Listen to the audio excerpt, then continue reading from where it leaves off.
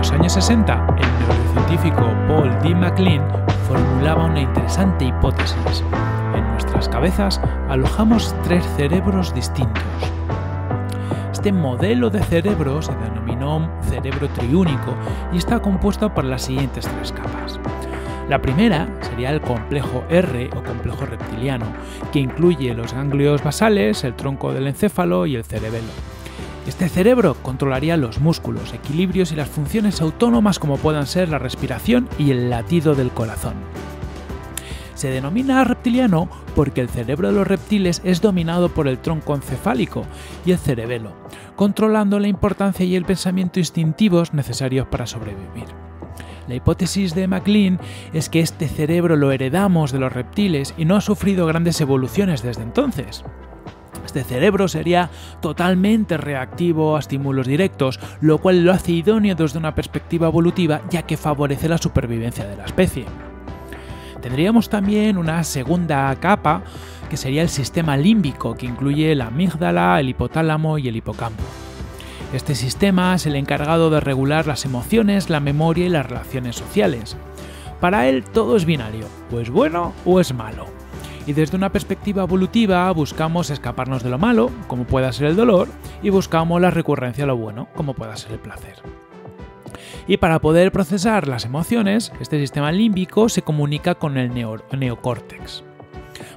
Esta sería la tercera y última capa, que es el neocórtex o corteza cerebral, que se encuentra únicamente en el cerebro de los mamíferos y en especial en el de los humanos. Este cerebro sería el encargado de las funciones cerebrales superiores como son los aspectos cognitivos, percepción sensorial y el control motriz. El lenguaje, el uso de herramientas, la sabiduría y todos los aspectos que nos convierten en seres racionales. Este modelo de cerebro se fue desarrollando durante décadas y se popularizó mucho gracias al libro de Carl Sagan, Los Dragones del Edén, que fue publicado en 1977. Eso sí, a partir del año 2000, esta teoría fue perdiendo popularidad y fue obteniendo críticas por parte de las principales corrientes de la neurociencia, debido a su excesiva simplificación de algo tan complejo como es el cerebro. A día de hoy sabemos que esta teoría es capaz de describir en parte cómo funciona nuestro cerebro a la hora de tomar decisiones, pero es muy simplista e incluso fantasioso en cuanto al porqué de su desarrollo.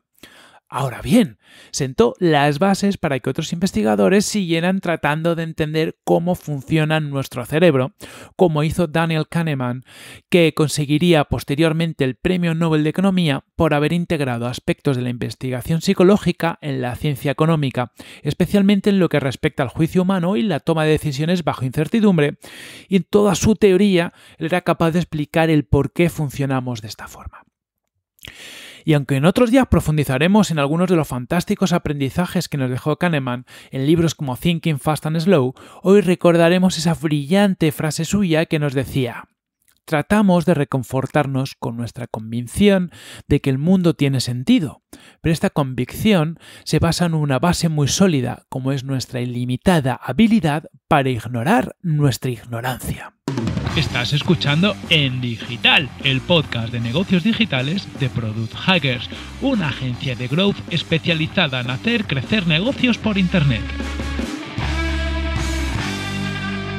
Hola, soy Corti y antes de meternos en faena, quería recordarte que además de en este podcast y en Product Hacker, también me encontrarás echando un cable en fotografía e-commerce, un estudio de fotografía y vídeo para tiendas online y también hablando de podcasting con mi buen amigo Paul Rodríguez Rius en tribucastes.com, el podcast para los podcasters. Hoy hablamos de growth hacking, productividad y equilibrio, una serie de temas que parece que no tienen mucho que ver, ¿no? no tienen mucho en común, pero confluyen a la perfección en nuestro invitado del día, que es Víctor Campuzano. Víctor es experto en growth, eh, también es experto en analítica de producto y un auténtico mago de la productividad personal. Además, es un encanto de persona y un muy buen amigo al que hace tiempo que quería entrevistar. Como tenemos hoy pata negra en la entrevista, no me enrollo más y os dejo en las mejores manos posibles. Así que adelante entrevista con Víctor Campuzano.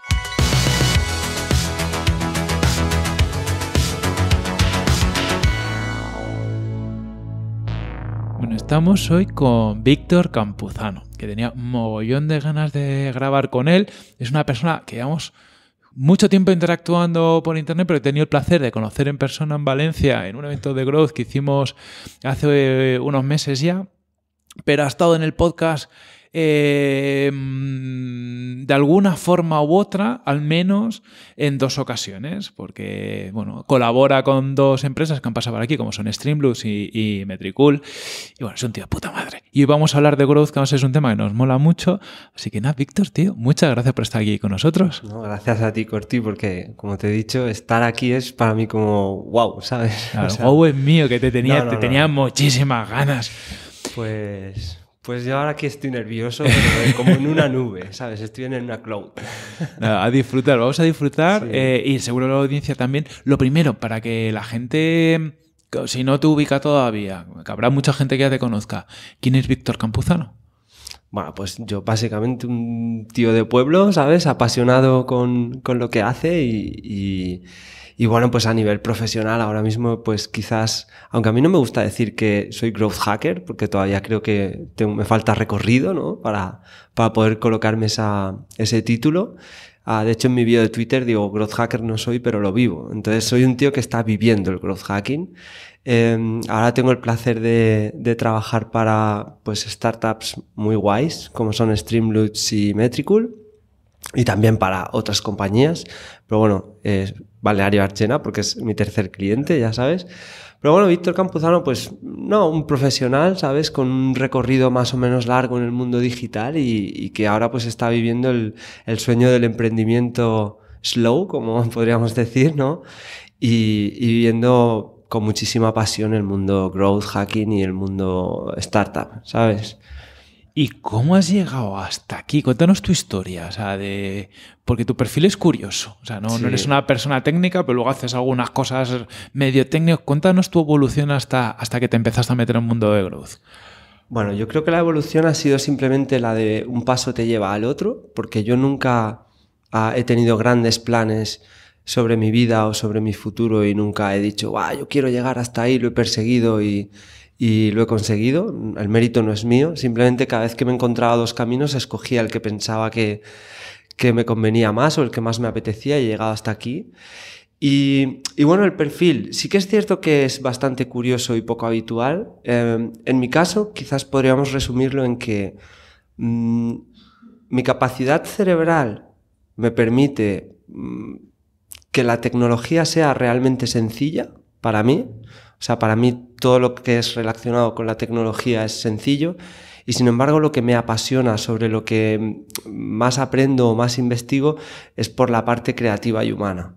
Entonces, claro, al final, conforme vas trabajando y te vas encontrando retos, pues obviamente vas aprendiendo la parte de tecnología porque se te da fácil y es una herramienta, y sobre todo en Internet es una herramienta imprescindible, pero luego vas aprendiendo y vas investigando y vas desarrollando otras habilidades, ¿no? Y cuando se produce un matrimonio equilibrado entre la técnica y, lo que no es técnico, que es más humano, más social, más creativo, uh, más de comunicación, pues la verdad es que te da un, una cierta cobertura visual bastante grande, para abordar los proyectos, para generar ideas transversales y para ser pues creativos en la búsqueda de soluciones, ¿no? Entonces, yo empecé desde el plano técnico, no universitario, yo hice un módulo empecé a programar, eh, pues ya de pequeñito, bueno, de joven, cuando estaba haciendo el módulo, pues ya siempre pensaba en negocio. Me acuerdo que lo primero que hice cuando aprendí a programar fue un juego de ¿Quieres ser millonario? Y me saqué unas pelillas ahí en el pueblo vendiéndolas, ¿sabes? Eh, pero bueno, y, y, pues también compré mi grabadora de CDs y me monté mi este de grabar CDs y todo esto. Yo ¿sabes? creo que muchos hemos pasado por esa Yo etapa. Creo que sí, ¿no? Pues eh, creo que ha prescrito el delito, sí. ya podemos contarlo con, con cierta anécdota. Y bueno, de ahí pues empecé a trabajar, salté del pueblo a la ciudad, a una tienda de informática, empecé a poner tornillos en ordenadores, lo que era montar ordenadores, ponerle la placa base y todo esto. Y había un señor que iba ahí a comprar los ordenadores, que era un consultor de tecnología para negocios. Y algo vio en mí que me dijo, te vienes a mi consultora. Y entonces empecé a llevar sistemas para sus clientes, pero conforme llevaba sistemas se planteaban los problemas de oye, ¿cómo la tecnología y los sistemas nos pueden ayudar a resolver estos problemas de negocio? ¿no? Y yo cada vez participaba. Y lo guay de todo esto no es lo que aprendes en plan, pues pones un servidor para el correo electrónico. Lo que realmente aprendes es, oye, hay problemas a nivel de negocio que se tienen que resolver a nivel de tecnología. O dicho de otra manera, la tecnología nos permite resolver problemas de las personas, ¿sabes? Y ese enfoque ya desde muy pequeño pues empecé a hacerlo, muchos años trabajando con, con esta consultora. Y luego pues uno de estos clientes era una constructora de unos 300 trabajadores, pues decide que me quieren a full time y, me contratan. Entonces salgo de la consultora y voy a full time para, en un principio era dirigir el, el departamento de sistemas de la constructora, fue bien, fuimos desarrollando soluciones más allá de poner ordenadores, ahí empezamos a desarrollar eh, un sistema de subcontratas, de gestión de la documentación, etc. Todo muy guay, hasta que llega la crisis. Uh, cuando empieza la crisis, yo recuerdo que la constructora esta pues montó como un concurso interno entre los 300 trabajadores para poner nombre y logotipo a una guardería que habían construido. Y, y yo ahí empezaba a hacer mis pinitos con la parte más, social y creativa. Yo empezaba a leer libros, yo qué sé, sobre creatividad, sobre diseño, me empezaba a inquietar no todo binario, sino los, la gama de grises, ¿sabes? Y de colores. Y, y, bueno, pues en este concurso gané el concurso y empecé a darme cuenta de que, ostras, a lo mejor puedo tener un, un potencial que explorar, ¿no? Eh, cuando llegó la crisis, pues ellos, el equipo directivo de, la constructora, yo ya formaba parte del equipo de, se llamaba el equipo de mejora, que estaba formado pues por el gerente de la empresa y por responsables como un C-level, ¿no? De la, de la compañía. Y bueno, pues crisis, deciden pues vamos a fusionar sistemas, o sea, informática, que ya es tecnología pero aporta soluciones, con marketing y ventas. Y entonces pues Víctor te toca te toca esto, ¿no? Además era el auge de, la, de empezar a vender por Internet y hacer cosas en Internet y yo pues me dieron recursos y capacidad para formarme en esto de Internet, que por aquel entonces, y más en, era el esto de Internet.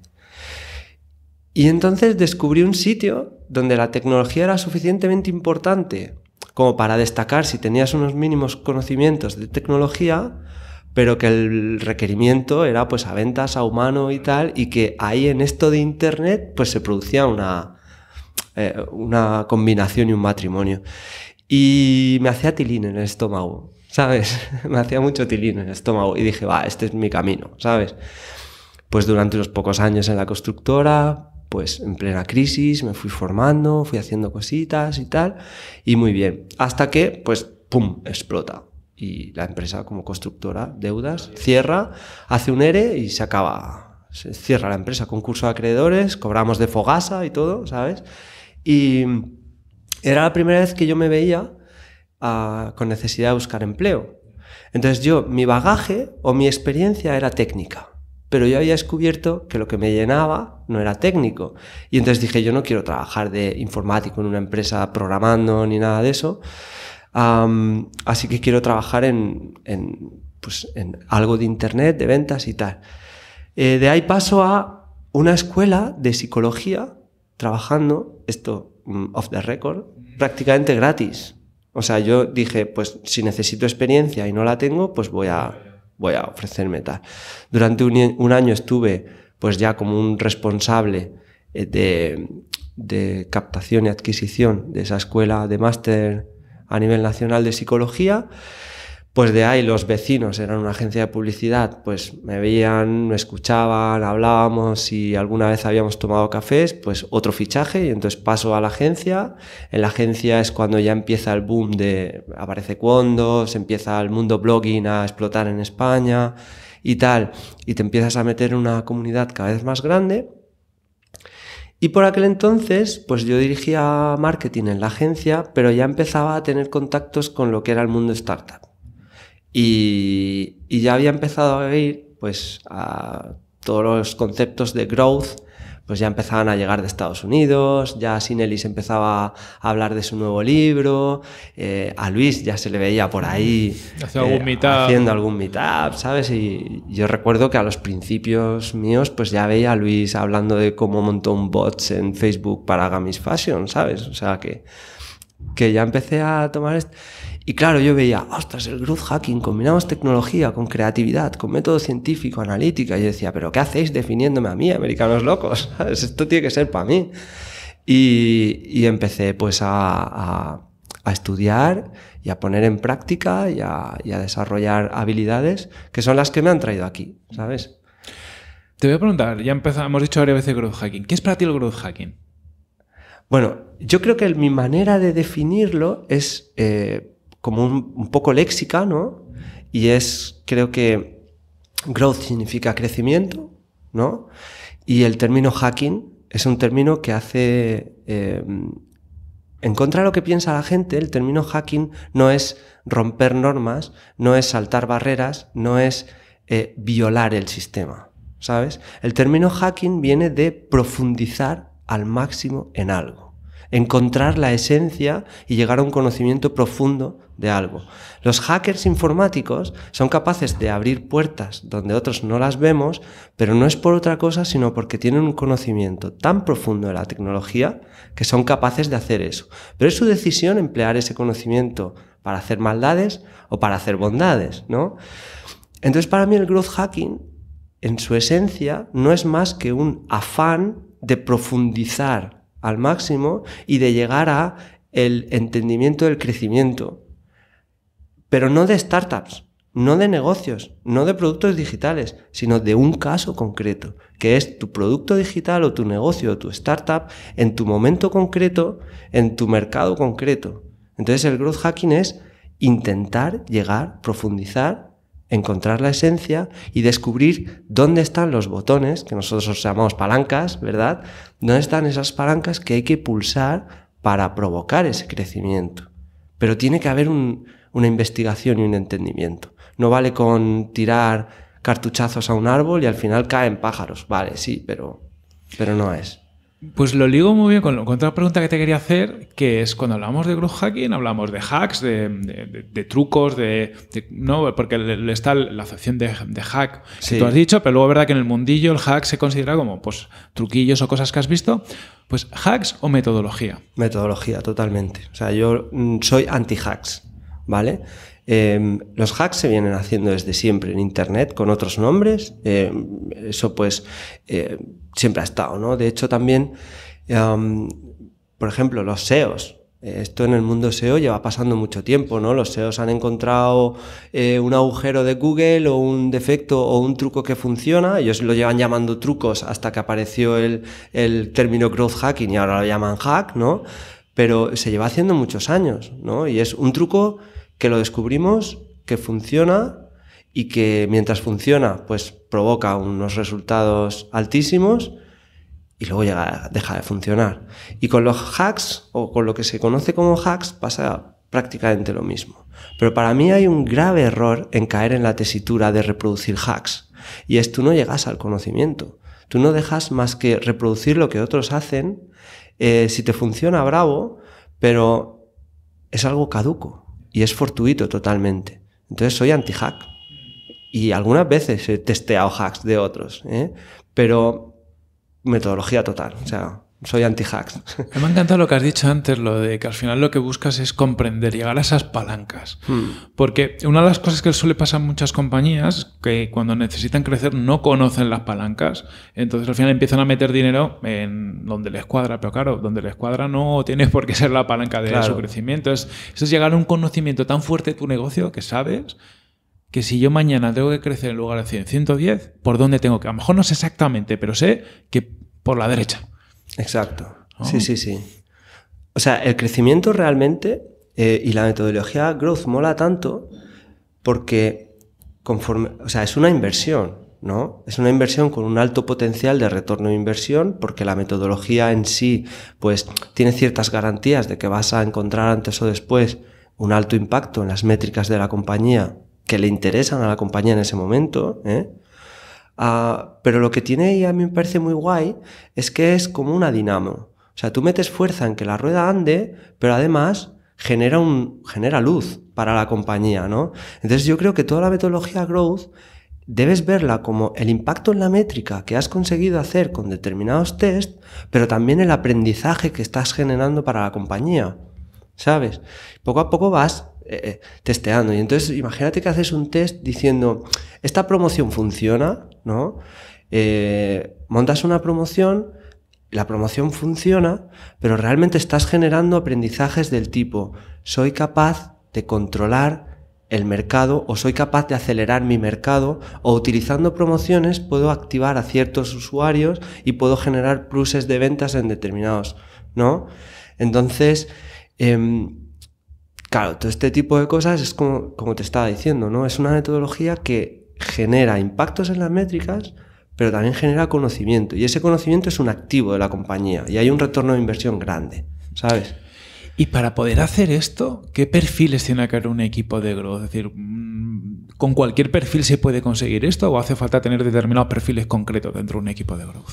Hombre, yo sí creo que también depende del tipo de proyecto, también de la compañía, de los recursos, pero, em, o sea, esto es como, imagínate una, una máquina tragaperras, por ejemplo, eh, si tiene tres ruedas y hay tres frutitas en cada rueda, ¿no? Pues las posibilidades creo que son 3 elevado a 3, posibilidades distintas, ¿no? Em, si esto lo llevamos a la creatividad, pues a más tipos de personas distintas, a más perfiles, ¿no? Y con poder o, con capacidad de acción en más áreas de la compañía, más capacidad de ideación tienes y más improvement puedes hacer en determinados puntos de en, o sea, puedes encontrar experimentos más transversales o tienes como más amplio el abanico de opciones, ¿de acuerdo? Entonces, pues en lo que se refiere a startups a startup tecnológicas, que es lo que yo estoy trabajando ahora, eh, que menos que haya C-level, porque tiene que haber una visión más a largo plazo de la compañía, ¿sabes? Y un, y un contexto, ¿eh? porque hay veces que como empleados no tenemos todo el contexto de la compañía y esto puede llevarnos a problemas de idear hacia una dirección en la que ya se sabe desde el lado más alto que esa dirección no es, ¿no? Pero no es el momento de que todo el mundo lo sepa o, tal. Em, entonces, pues mínimo, eh, para mí, mínimo marketing, ventas, producto y C-level, ¿sabes? Creo que deberían de, haber. Luego ya en producto pues tienes back y front, ¿sabes? Y, y de marketing pues tienes especialistas en embudos y especialistas en paid y el, ya depende de la compañía,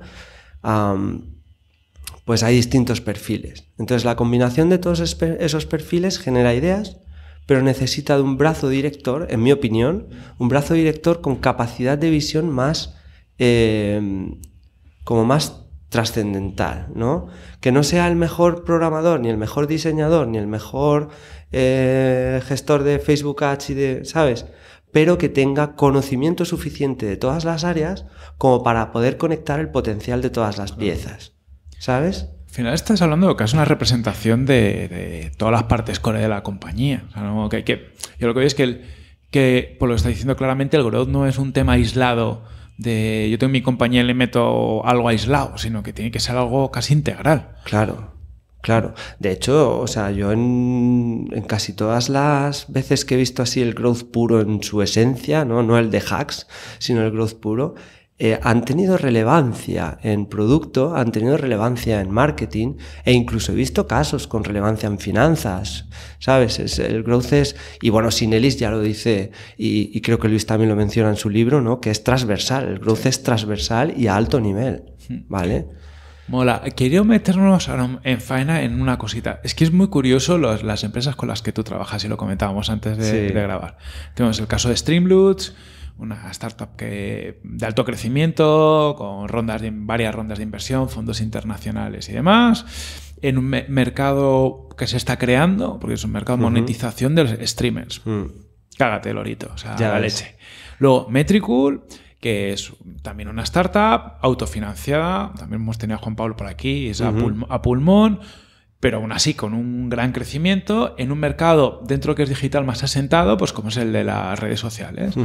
Y luego tienes el balneario de Archena, ¿vale? Que pues una empresa mucho más tradicional, que aunque me decías que vende bastante online, pero bueno, tiene, mucha, mucho de off también.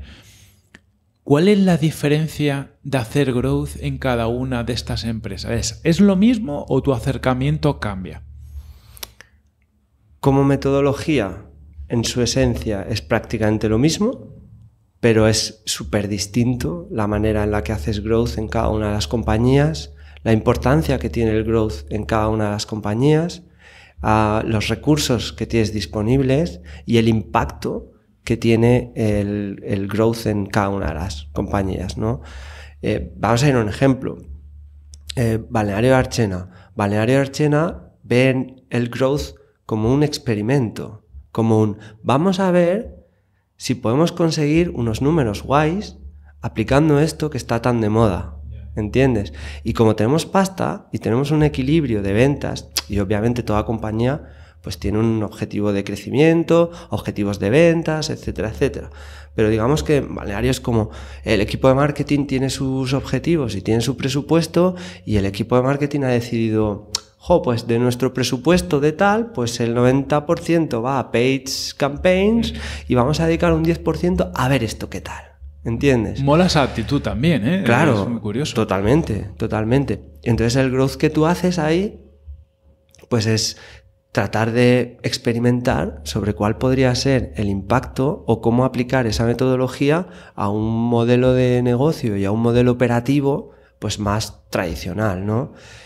Eh, luego, en el otro extremo tenemos a Streamloots. O sea, Streamloots en su ADN, desde que nació, desde que eran cuatro personas, lleva el growth metido en su ADN. O sea, los cuatro founders de Streamloots son puro growth en su manera de pensar. La compañía es puro growth. ¿Por qué? Porque está descubriendo todo el rato. Están descubriendo un mercado, están descubriendo un producto, todo el rato están experimentando, pero hasta cómo colocan el papel higiénico en el baño. O sea, es una compañía que lo lleva en, su... Exacto. Y entonces la importancia de growth ahí es, pues, pues, pues el ADN, o sea, la esencia de la compañía, ¿vale? El growth está en su, propio, en su propia esencia. Y luego tenemos a Metricool, que Metricool es como eh, algo entre las dos, ¿de acuerdo? Metricool es, pues, o sea, yo estoy, encantado con las tres, ¿no? Pero yo con Juanpa es que estoy enamorado porque aprendo un montón de él. eh, Metricool, el growth es una inversión que saben que es súper importante, que el impacto que puede causar eh, growth, pues sabemos que es muy alto por las características del producto, por la escalabilidad, por el mercado al que estamos eh, queriendo ir, pero es un producto que ha madurado con el growth de, Juanpa solo, ¿no? Porque Juanpa también habrá hecho en su crecimiento desde que idearon la compañía, pues Juanpa y su equipo habrán testeado funcionalidades, probado cosas, habrán hecho no con una metodología de growth tan afinada o tan definida, pero habrán hecho. Entonces, digamos que eh, Growth también es una inversión. ¿Vale? Es un producto con un flujo de ingreso, un flujo de caja estable, es decir, ingresan más de lo que gastan, entonces es una inversión con muy alto potencial, con mucho cariño, pero no es una parte de ADN como es el caso de Streamloots, ni es un vamos a probar qué tal eh, del balneario, ¿no? Entonces, metodología la misma, el enfoque totalmente distinto. Mola, es que son mm. como cosas muy, muy, muy, pero que, que muy distintas. Con lo que comentaba, sobre todo en la parte de Streamloots, me venía a la cabeza y te voy a preguntar sobre esto. Hace poco grabasteis un podcast de Streamloots en los que tú participabas, mm. donde destripabais el viral de, de Streamloots. Mm. Lo voy a compartir en las notas del, del, podcast. Me gustaría que contaras esa parte viral que ya tiene Streamloots de por sí y cómo hicisteis el análisis para encontrar las palancas subyacentes e intentar hacer un boost de ese crecimiento, ¿no? Sabíais que ya tenéis algo que os permite crecer y cómo llegas a esa esencia para poder decir, y ahora puedo crecer más. Claro. O sea, al final es toda una consecuencia de ese afán por encontrar la explicación de y por ahondar en un conocimiento profundo de lo que viene siendo eh, lo que provoca el crecimiento, ¿no? Porque eh, o sea, el viral, el, el viral loop que tenemos en Streamloops es mm, atribuible pues prácticamente al 100% a Vicent que se pegó una currada y que, y que de verdad que ha hecho un trabajazo con eso. Vicent puñetero crack, no sé si se pueden decir palabrotas, puede pero es que es un puñetero crack este Lo tío. es. Y, y todo esto fue porque nosotros sabíamos, nuestro crecimiento es en un altísimo, cercano al 100, orgánico. ¿De acuerdo? Y es algo fácil de detectar. Es, pues, cada cliente expone a una audiencia grande el producto y entre su audiencia hay gente que está, eh, pues que también es streamer, ¿no? Entonces esto tiene un factor viral muy alto. Y de ahí que el crecimiento, pues, sea principalmente orgánico de, de toda la compañía. Pero llega un momento en que alguien pone sobre la mesa, el crecimiento orgánico está guay porque es muy viral, pero tiene un problema y es, no está bajo tu control. Lo orgánico no está bajo tu control. Depende de. Y entonces, ¿qué pasa si de repente todos los streamers dicen de no emitir? Se para la rueda de crecimiento. ¿Qué pasa si la frecuencia de emisión o la frecuencia en la que hablan los streamers de nosotros se reduce? Tampoco está bajo, nuestro control, ¿no? Entonces se reduce nuestro crecimiento. Dependemos tanto del estado anímico de la cruce de cables de cada streamer, de nuestro crecimiento, que esto no se puede mantener así. Tenemos que ahondar en este crecimiento para encontrar esas palancas. Y fue ahí cuando estuvimos investigando porque hablando un poco de los temas de la correlación y todo esto, decíamos, ya, no puedo controlar el último punto, ¿sabes? Pero si ahondo en qué te lleva y qué te motiva a llegar ahí y en cómo funciona todo esto, puedo ver qué otras palancas puedo tocar para conseguir que no se frene esa rueda, ¿no?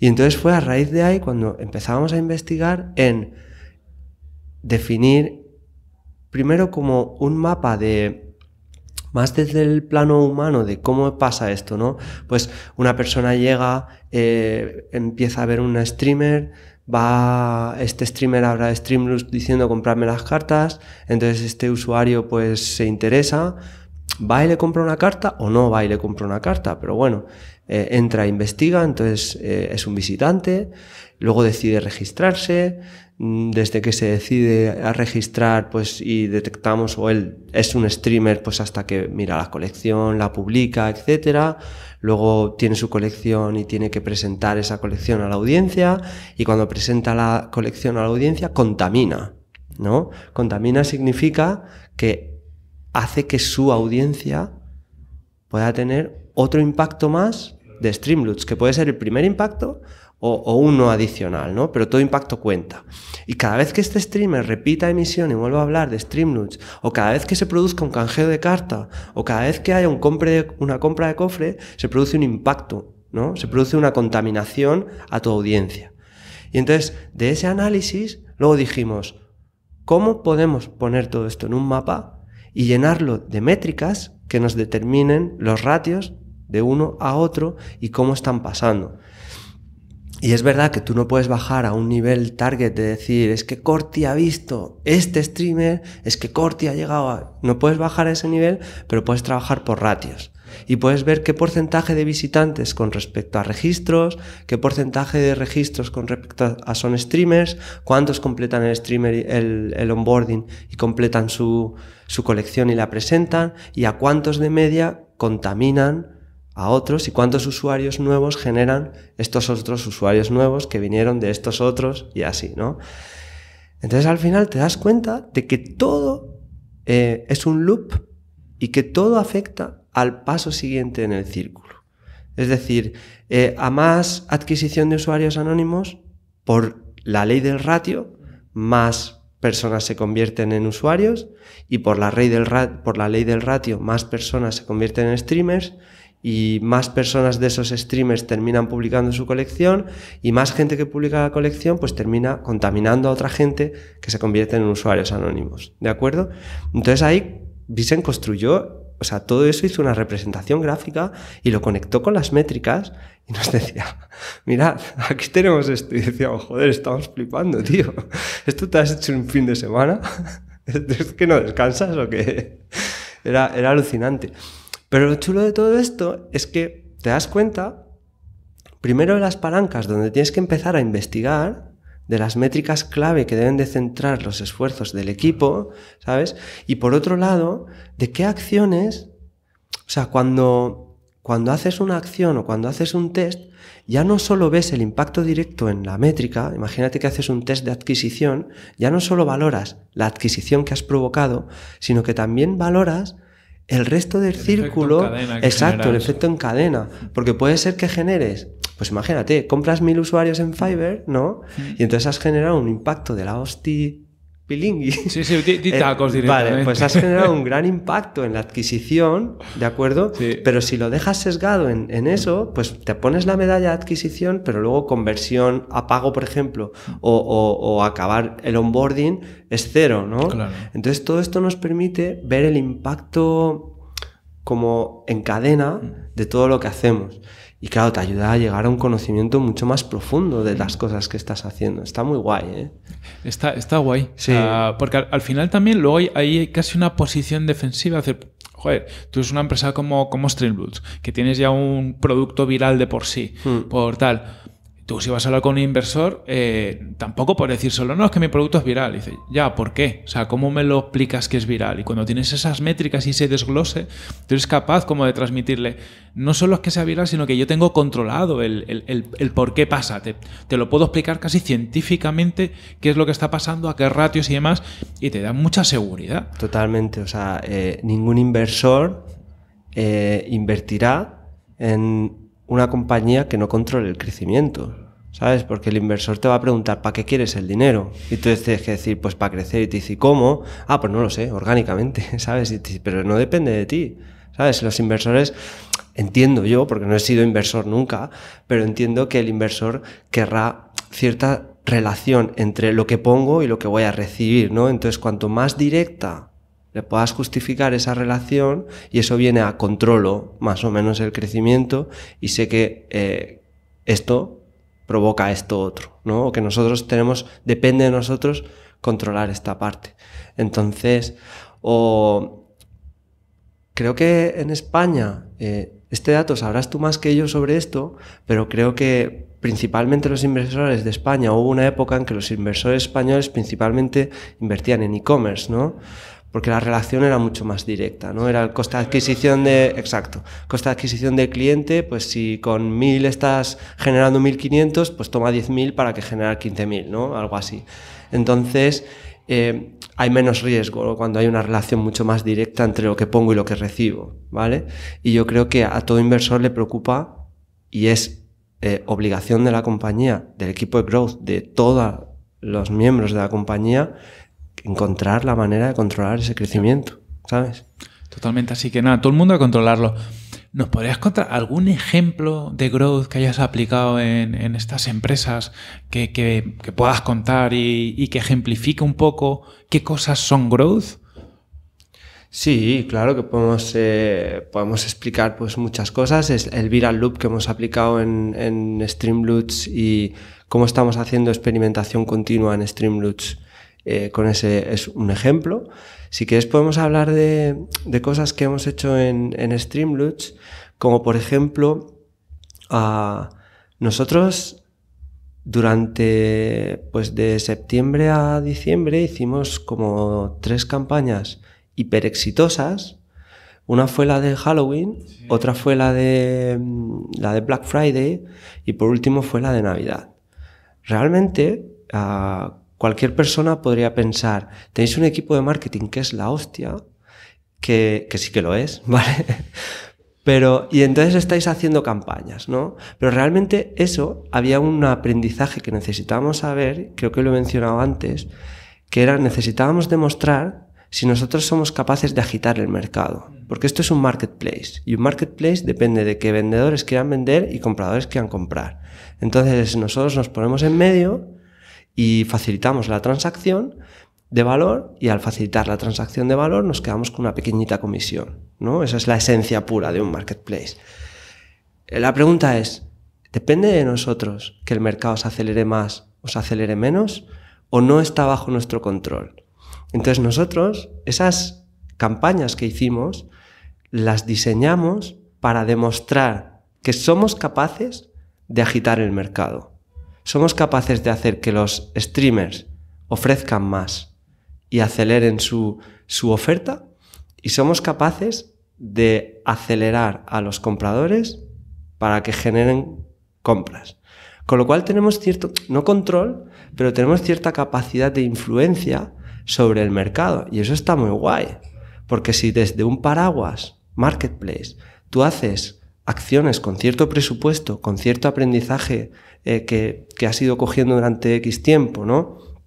Y te permite eh, generar que el dinero se mueva, generar que el valor se mueva, pues tú puedes no solo crecer como producto, sino hacer crecer al mercado, ¿sabes? Y agitar al mercado. Entonces, es un caso que lo demostramos y que, y que lo estamos explotando, ¿vale? Y hasta ahí pues creo que puedo llegar porque, porque bueno, luego tampoco sé hasta dónde puedo llegar contando cosas. Creo que debo de ser prudente contando ciertas estrategias, pero, pero bueno, eh, pero bueno, por ahí va la cosa, ¿no? Y luego, pues otras muchas, muchos test que hemos hecho a nivel de... Eh, ahora mismo en, en Streamluch estamos trabajando bastante el tema de la retención del viewer, ¿vale? Entonces estamos... Bueno, realmente estamos trabajando en muchas cosas, pero hemos hecho cositas como la retención de, del viewer y entonces, entonces estamos trabajando en pequeños test que hagan que pues perciba más valor, que vuelva, que explore, que consume más, consuma más contenido del que piensa que se puede consumir de la plataforma, ¿no? Entonces estamos haciendo un montón de, de test que entiendo que podremos contar en unos meses cuando ya hayamos validado, que eso supongo que Visen querrá contarlos. Pero bueno, hay bastantes ejemplos de pequeñitos cambios que han llegado a producto. O sea que los hemos descubierto en Growth y que han consolidado en, en producto. En producto Dentro sí. de unos meses os traemos a Vicente a ti y, y profundizamos en el resultado. Liamos a Vicente. Ya ves. Te voy a, leer un, una cosa, ¿vale? Porque mm, le he pedido a Juan Pablo que me, que me dijera algo sobre ti y que me mandara una pregunta, ¿vale? Y Juan Pablo, de Tejela de Metricool, me dice, y, esto, eh, Víctor me está poniendo cara porque no se lo he leído antes. No, está, no, está no. cojonado. pues Juan Pablo dice: Me, eh, me siento súper reforzado con Víctor en el equipo. Más allá del trabajo increíble que realiza, sabe cuando necesito ayuda y aparece como si tuviera un sentido arácnido. Así dicho, parece algo sencillo, pero es extremadamente valioso. Además, creo que es capaz de hacer esto mismo con el resto del equipo. Tiene a todo el equipo enganchado. Así que enhorabuena, que eso oh. es algo, algo muy guay. Bueno, y ahora si, yo, si lloro la gente no me ve, ¿no? y ahora la pregunta, porque le he dicho, bueno, dime algo guay y ahora dime alguna pregunta que exprima a Víctor. Y me dice como pregunta, sabemos que eres un friki y que te gusta remangarte en la parte de código siempre que puedes. ¿Te hubiera gustado ser desarrollador o solo es una habilidad interesante para ser independiente ejecutando estrategias de growth?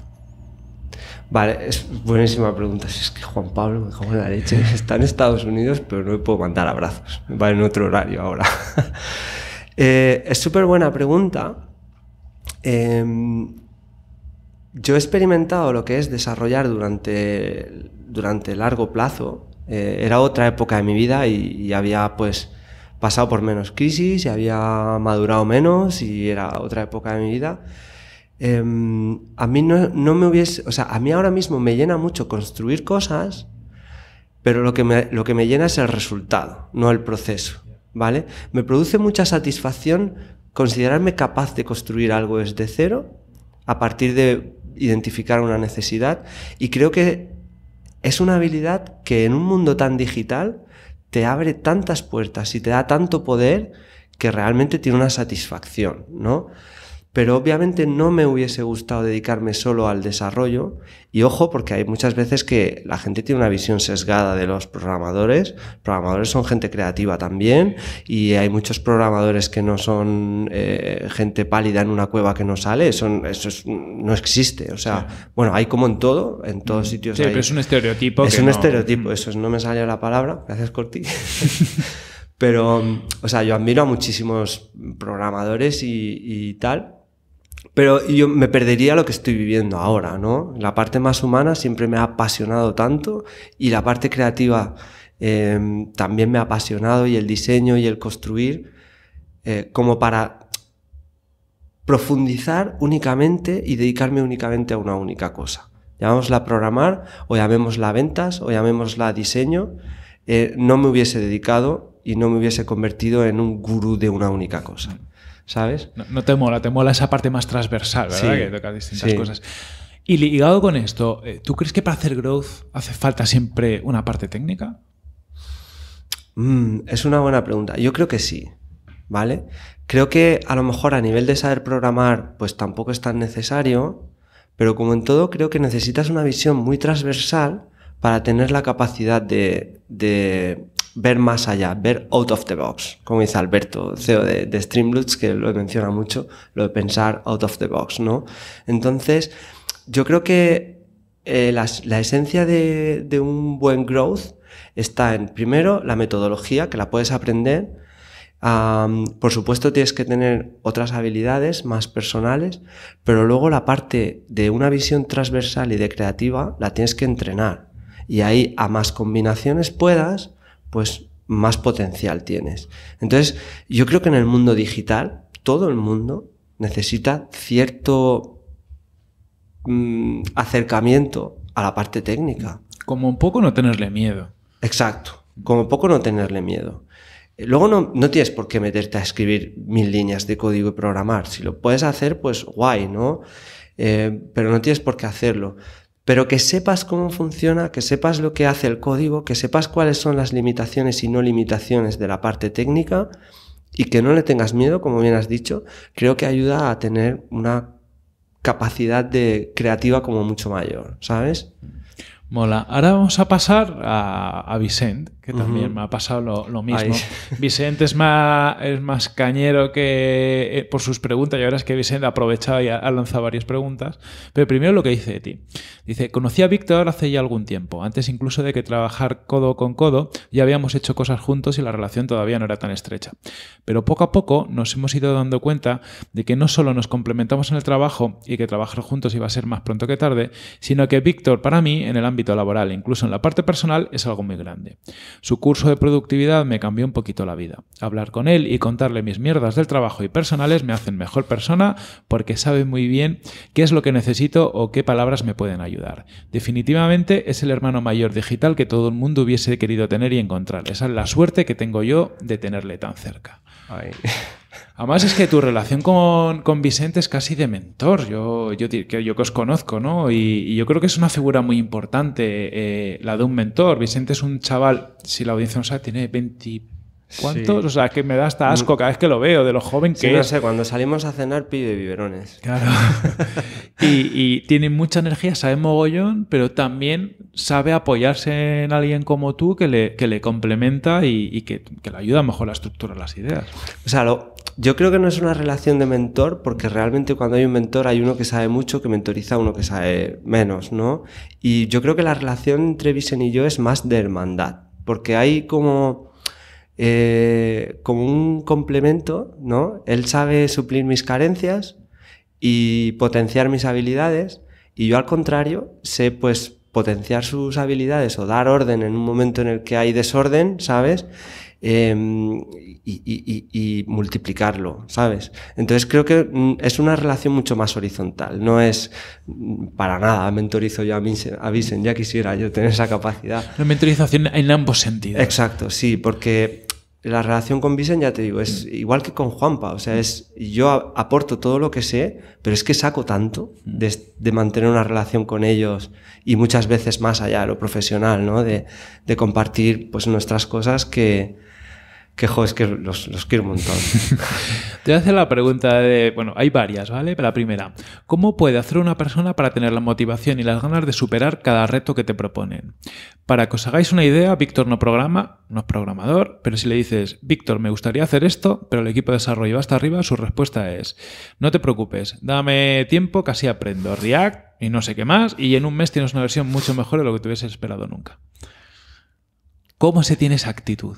Y esa capacidad de aprender? Ah, mira, yo creo que, o sea, yo creo que es algo que te llega en, una época de, la vida, ¿no? Cuando has vivido distintas etapas Eh, yo he tenido etapas en las que pues has tenido el modelo antiguo en el que es ir a más siempre, en el que te han dicho el 10 no vale, eh, tienes que ser un 11. He tenido épocas en las que la máxima motivación ha sido el dinero.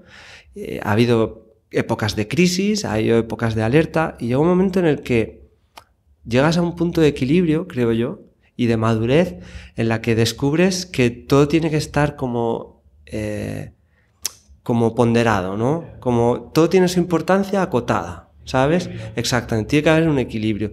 Y claro, cuando construyes y encuentras ese equilibrio y realmente, o sea, no es o sea, no es zen, no es en plan de ponernos a meditar ni a hacer mm, magia, ¿sabes? Pero es, es una sensación que, que, experimentas, ¿no? De decir, hay un equilibrio monetario, que no soy el más rico del mundo, pero tengo un equilibrio monetario, hay un equilibrio personal, hay un equilibrio profesional, y lo que estoy haciendo me llena tanto y me apasiona tanto que he encontrado ese punto de, de motivación. Entonces la motivación llega sola, es que no la tienes que empujar ¿Sabes? Es que es como todos los días dices, soy afortunado. Y oye, hay veces que te levantas llorando, hay veces que te estresas, hay veces que echas más horas de las que tendrías que echar. Todo esto no es un anuncio de gente corriendo. No, en la casa de la pradera. Exacto, no, no es eso. Eh, hay de todo. Pero a nivel general, la motivación te llega porque has encontrado ese, ese equilibrio de decir, estoy, joder, donde, donde debería estar, ¿no? Me siento, no sé, me siento en mi sitio. ¿Sabes? Entonces por eso te llega. Qué importante siempre hacer lo que uno quiere. Sí. O sea, ayuda. Otra pregunta de Vicent. ¿Cómo defender una idea? Bueno, y, digo, esta pregunta es muy buena además porque yo creo que todo growth hacker, o sea, toda persona que hace growth se enfrenta de una forma u otra a ella. Y ahora veremos el por qué. ¿Cómo defender una idea arriesgada ante cuatro founders, salir ganando la reunión y que la apuesta por esa idea lo pete cuando tenías a todo el mundo en contra?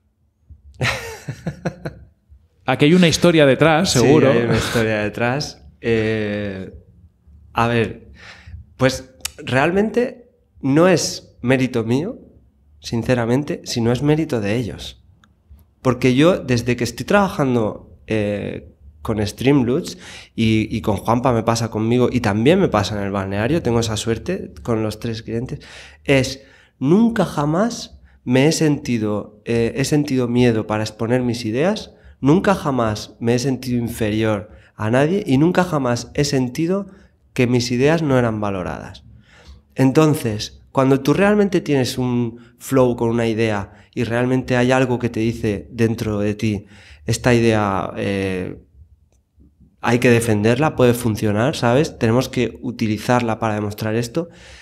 Aunque los cuatro founders te están diciendo que no, realmente en ese momento de esas reuniones no eran los cuatro founders, eran, éramos cinco amigos y eso es mérito de ellos que me hayan sentido sentirme así, ¿sabes? Eh, que hayan conseguido que yo me sintiera así. Eh, es que no tenía ningún tipo de miedo y yo decía, si, si lo que vosotros digáis, pero yo tengo fe en esto.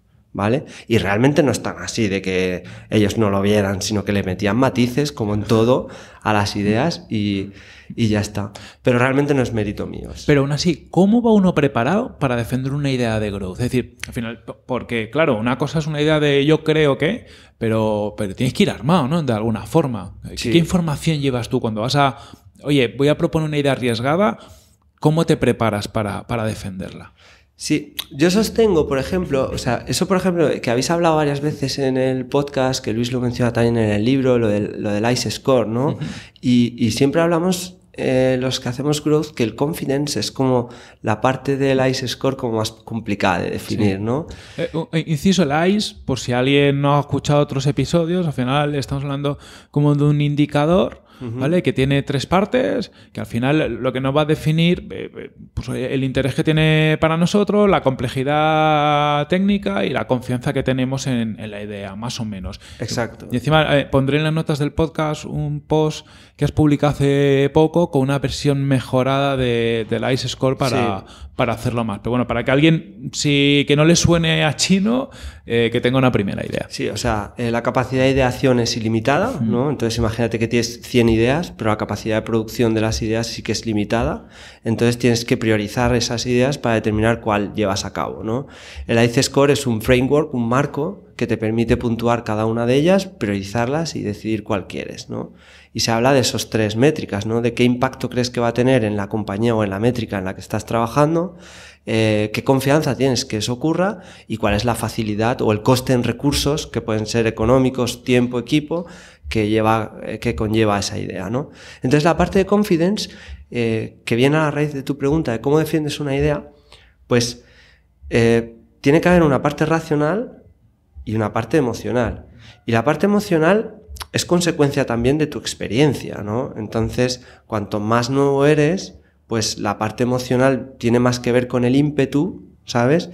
Eh, cuanto más experiencia tienes, la parte emocional tiene que ver con esa sensación de decir, es que esto sí, ¿sabes?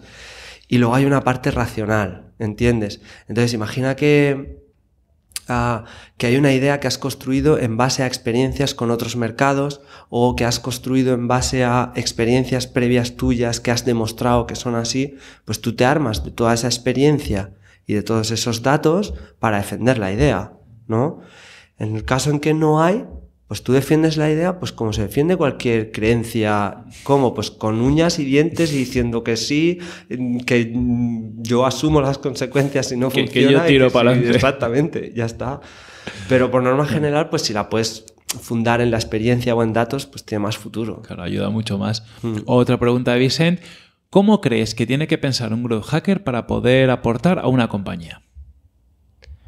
Bueno, yo creo que muy abiertamente y, o sea, yo creo que tienes que sentir parte de la compañía, sentirte parte de la compañía y tienes que respirar esa esencia y esa ilusión de los founders, esa velocidad en, la que, en la que se trabaja, ese ritmo eh, ese valor final que se aporta al mundo, porque al final se habla mucho de que las compañías, las startups están solucionando algo en el mundo, ¿no?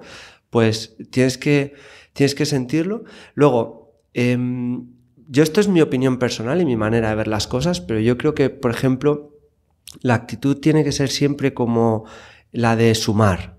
¿vale? Yo siempre digo, yo vitamino al equipo, mm, no sustituyo a nadie, ni mucho menos, simplemente soy un complemento o un acelerador, ¿sabes? O una vitamina, ¿de acuerdo?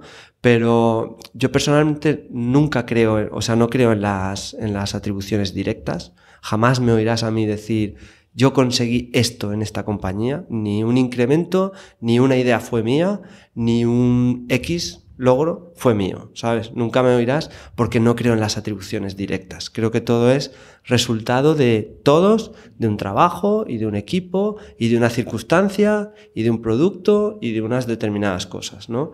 Entonces creo que tienes que tener esa visión humilde, pero también tener la capacidad de valorar tu, tu experiencia, tu opinión y de, y de tratar de empujar a los demás, ¿no? Entonces, cero Cero inseguridades, cero miedas, miedos a, quedarte fuera o cero miedos a tal, y mentalidad constructiva 100%. Mm. Ahora, hemos estado hablando de growth, pero quería reservarme un ratito esta parte final para una, seguir por un concepto que has dicho al principio y que es como la antítesis del growth, pero tú lo llevas integrado. Has hablado de slow life. Mm. Y, y también se liga a que trabajas con varios clientes pero tú te organizas el tiempo de forma que puedas tener ese equilibrio que has mencionado, lo personal y lo profesional, de gestionar varios clientes. Me consta que tanto Juan Pablo como Vicente siempre me dicen, joder, que yo sé que dedica parte del día a mí y parte del día a otros clientes, y aún así tengo la sensación de que siempre está ahí en el Slack para lo que haga falta. ¿Cómo, cómo trabajas? ¿Cómo es tu forma de vida? ¿Y cómo, cómo ves ese slow life? A ver, slow life en, el o sea, los momentos, en la mayoría de los casos, ¿no? Eh, esto no quita, o sea, ya como lo he vuelto a decir, no es que yo me levante por las mañanas, empiece a sonar una música y, deje de sonar y todo sea maravilloso, ¿sabes? No es así. Eh, está estresado a veces y, y hay veces que me cuesta encajar las piezas y hay veces en las que todo esto, ¿no? Pero generalmente creo que he acertado en un enfoque reduciendo cuáles son los puntos de estrés más grandes, ¿vale? Y centrándome en lo que verdaderamente me apasiona. Y eso hace que el tiempo que dedico a trabajar consume las energías justas, no consume energía adicional. Por ponerte un ejemplo, a mí la acción comercial me supone un estrés grandísimo. Desde el principio yo sabía que si yo emprendía eh, por mi cuenta y tenía que estar todos los meses preocupado en qué clientes van a ser los del mes siguiente, mi nivel de estrés y la presión que yo iba a sentir iba a ser mucho mayor, ¿no? Entonces, uno de los enfoques era reduzco este estrés, ¿sabes? fidelizando mucho a clientes, haciendo contratos anuales autorrenovables, asegurándome de que el cliente pues me quiere seguir ahí y tal, y al final convirtiéndome no en un proveedor externo, sino como, una, como uno más del equipo a tiempo parcial, ¿de acuerdo? Eh, y a nivel fiscal con otros rollos, pero al final yo soy un empleado a tiempo parcial en cada una de las compañías, ¿no? Pero ahí reduje el estrés de la búsqueda de clientes, ¿sabes? Otro de los puntos que generan mucho estrés y mucha presión al emprendedor es el, equilibrio financiero, ¿no? Pues entonces yo me hacía mis, al principio me hice mis planes financieros de cuánto iba a gastar en un año, cuánto necesitaba ingresar, este es mi precio, ¿sabes? Pero luego durante mis primer año y medio, casi dos años de emprendedor, mi obsesión ha sido que mi empresa, que era yo, pero mi empresa, ahorrase lo suficiente como para poder sobrevivir seis meses sin facturar. Entonces, ha llegado un momento en el que la rueda sigue rodando, yo no siento el riesgo de no facturar, pero en cualquier desastre que pudiera ocurrir, tengo seis meses para hacer labor comercial y, poder seguir pagándome mi minilla, ¿no?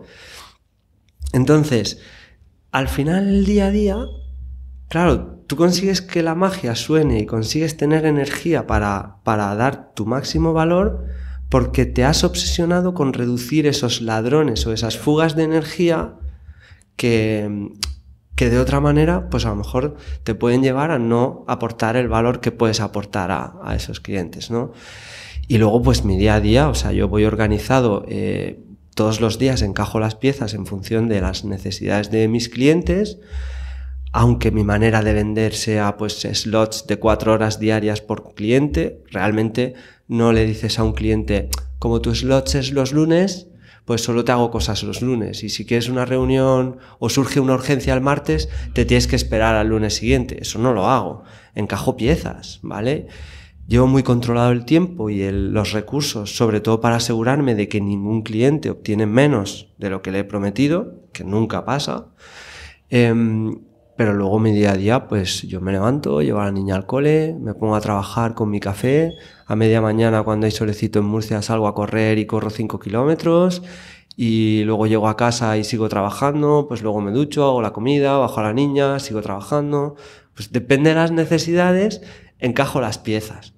Pero no siento ni la necesidad de facturar muchísimo porque tengo equilibrio financiero, ni la necesidad de buscar cada vez más clientes, ni siento ninguna otra necesidad más allá que enamorar a quien tengo cerca.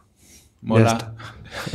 Has hablado de todas formas de los slots de tiempo, que aunque, aunque luego los gestionas de una forma más fluida, a mí el concepto me parece interesante. Hmm. Cuéntanoslo un poquito, porque al final, eh, por ejemplo, tus clientes tienen muy claro que tú tienes dividido tu semana en X slots y que tienen contratados X slots de tiempo. Entonces, más o menos tienen una, noción de cuánto pueden tirar de ti una semana. ¿Cómo, lo, ¿Cómo lo tienes organizado? ¿Cuántos slots tiene una semana para ti?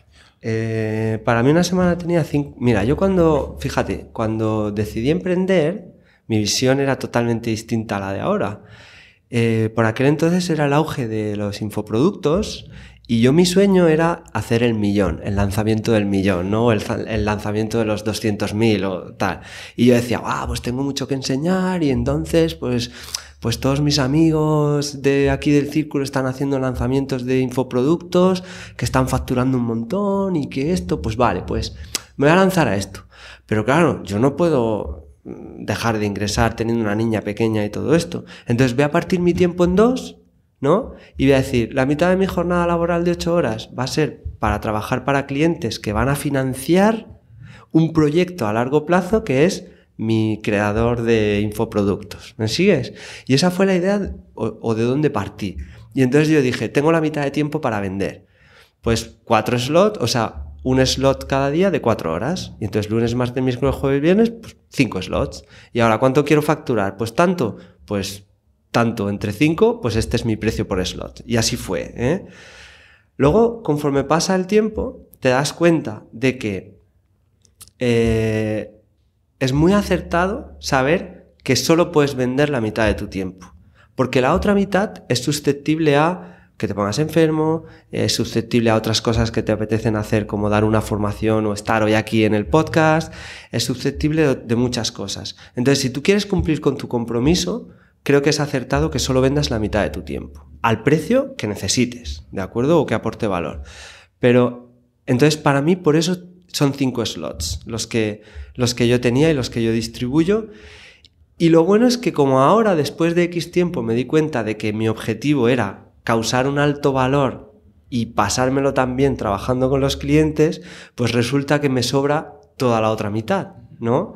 Entonces con la otra mitad la dedico pues a los clientes cuando los necesitan y lo hago con gusto y si supera la cantidad de horas que me tienen contratadas es que lo hago con gusto y ya no controlamos horas, yo sigo pasando mis informes pero no es Juanpa me lo dice, me dice, tú pásame los informes, pero yo no los miro, ¿sabes? Yo sé lo que aportas, y punto, ¿no? Em, pero bueno, te permite, pues, de vez en cuando voy a escuelas de negocios a dar formaciones, que me mola mucho. Sigo manteniendo el modelo de slots, pero ahora con tres clientes y con una relación tan guay, pues mm. es que es, es solo como, em, como te diría yo, pues un icono solo. Mm. Es una manera de llamar la facturación, ¿sabes? Pero es eso.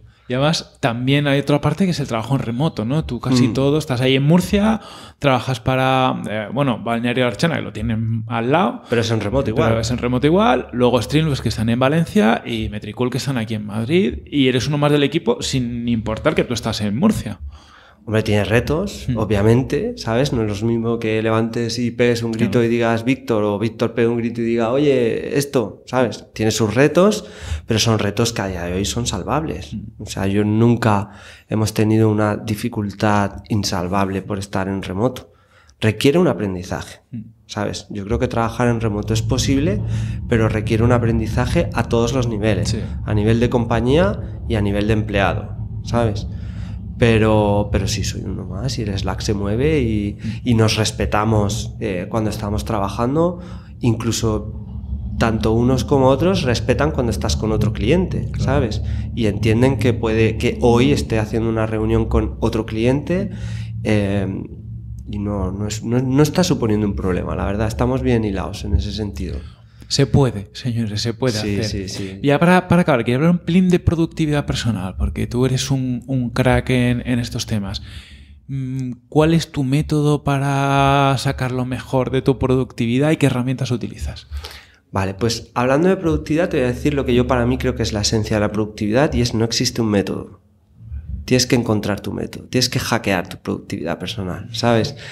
Eh, ¿Por qué? Porque, mira, yo jamás creí que yo iba a ser una persona organizada y productiva. Nunca. Muchísimos años mi principal pain era el desorden. Y de hecho se dicen, en muchísimos círculos, se dice, eh, las personas creativas son desordenadas por naturaleza, ¿no? Y incluso CEOs, eh, incluso responsables de recursos humanos, les oyes decir, pues las virtudes es estas y las carencias son estas, y se suele dar que creativos son desorganizados. Yo creo que no. Lo que pasa es que creo que no es acertado coger modelos eh, tipo GTD, por ejemplo, y aplicarlos a, a rajatabla, ¿no? No creo que sea acertado que haya un modelo y tengas que aplicarlo porque la productividad es tan personal y tan, eh, no lo sé, tan característica y tan única, ¿sabes?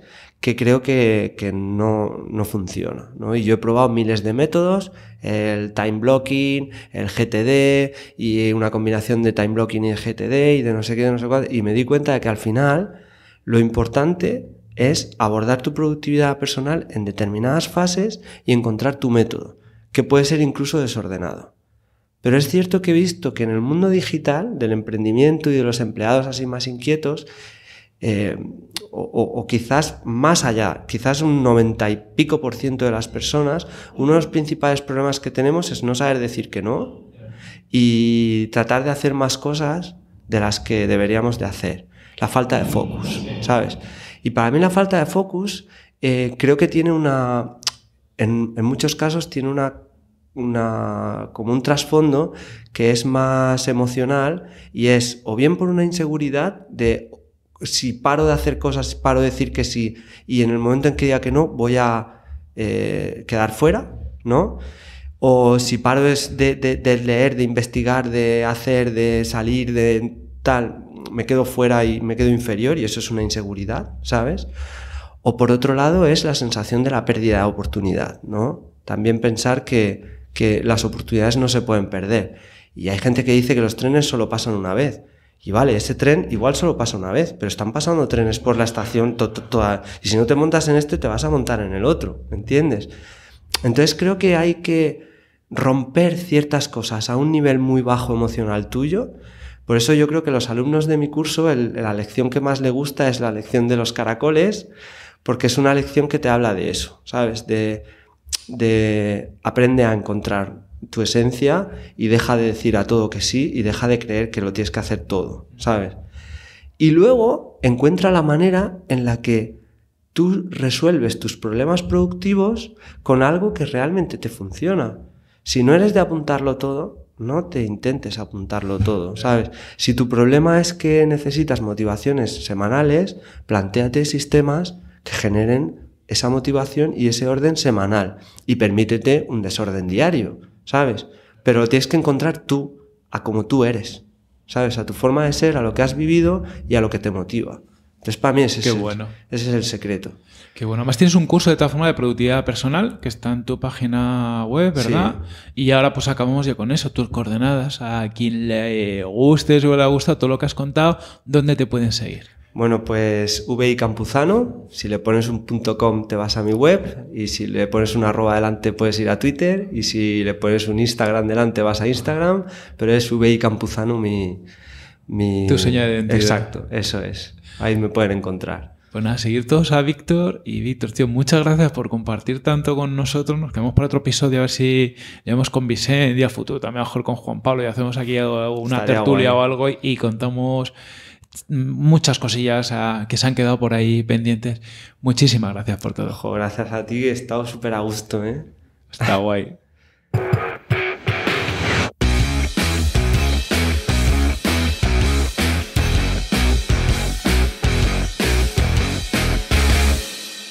Eso nunca funcionaría en el mundo real. Lo escuchas todo el tiempo cuando le cuentas a la gente una idea nueva. Este mundo real suena como un lugar muy deprimente para vivir.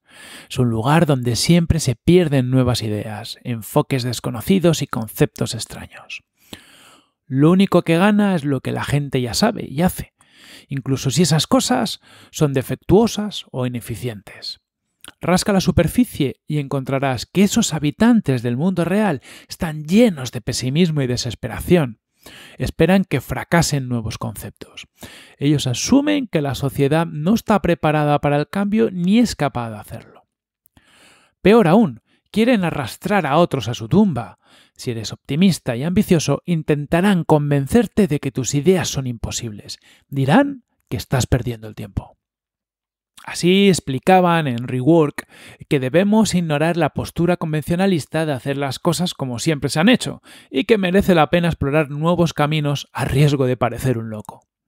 Muchísimas gracias a Víctor Campuzano por acompañarnos en esta entrevista y amena charla y también compartir sus aprendizajes, vivencias y su forma de enfrentarse al trabajo y a la vida.